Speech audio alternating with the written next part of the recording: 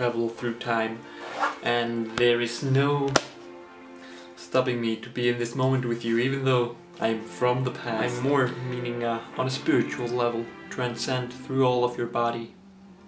Do you think they'll buy it? Yeah. No, like the effect that I'm from the past. Oh wait. Yeah, we're shit, as you can probably see already.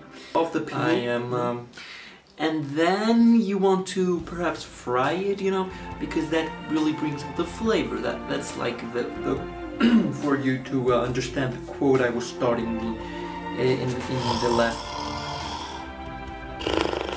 Oh man, I just caught a nightmare.